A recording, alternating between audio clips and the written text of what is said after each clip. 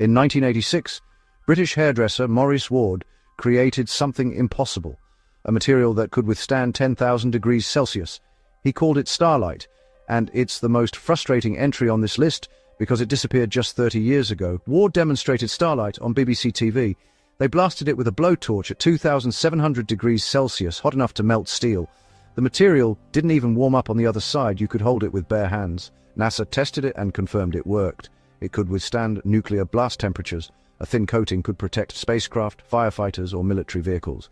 It was revolutionary. Ward refused to reveal the formula.